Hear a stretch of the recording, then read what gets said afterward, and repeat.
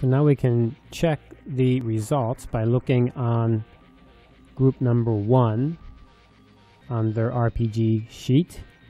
And we can come down and we can see that this is the deal we sent.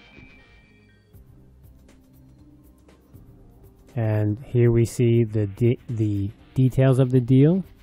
But we also can see over on the right side this little note here. Deal reports match deals report match. That means that when the seller sent their one report and the buyer sent their one report, the numbers were the same.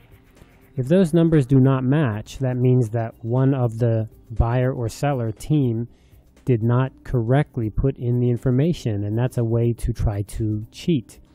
If that happens, of course, things won't work out exactly right.